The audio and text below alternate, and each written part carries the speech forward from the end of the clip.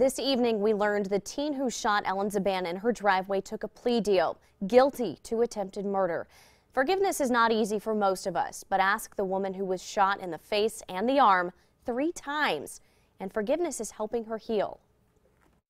I believe that he understands what he did was wrong, but I don't think he has remorse. Ellen Zban says she realized early on, no matter what happened to 15-year-old Jameer Clark, it changed nothing for her. It wouldn't get my physicality back. It wouldn't get it wouldn't regenerate the nerves. It wouldn't bring my job back. February 6, 2017, she pulled into the driveway of her Southside Youngstown home and heard a tap on the window. Clark shot her in the face, arm, and shoulder. He was charged as an adult. Judge Scott Krichbaum signed the plea agreement on January 18th, seven years in prison for attempted murder. For Zban, it's been a long road, five surgeries between her eye and shoulder. For right now, there's going to be one more to try and, because um, the, first of all, the eyes aren't the same shape or the size anymore. She can't lift her left arm sideways or backwards. Probably about a year or so ago, um, even though very lucky, can't, you know, I, I really have nothing to complain about. Um, but I would look at pictures and, and I would say, I just, I don't look like me.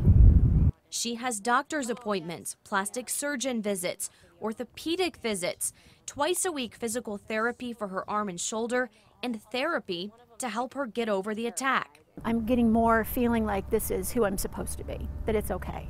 So what got her through it?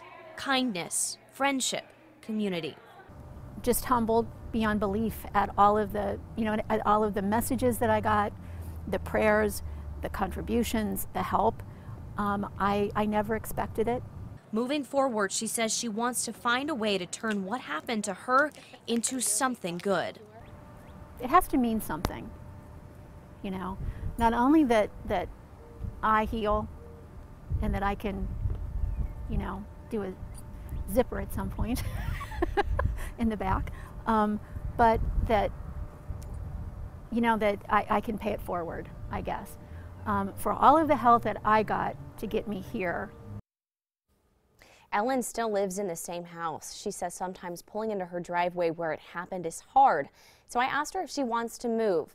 Her home was her grandparents' home. She has decades of memories there, and she says all the good memories with her family outweigh that one bad memory.